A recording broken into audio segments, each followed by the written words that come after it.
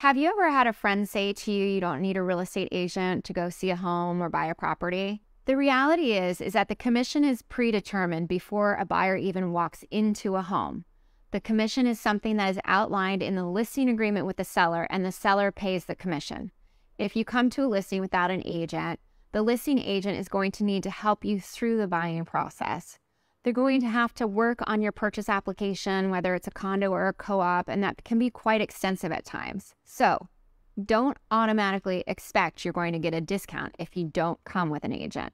On the flip side, let's talk about why you should work with a buyer's agent. A great real estate agent is going to help you through the buying process with an unbiased eye.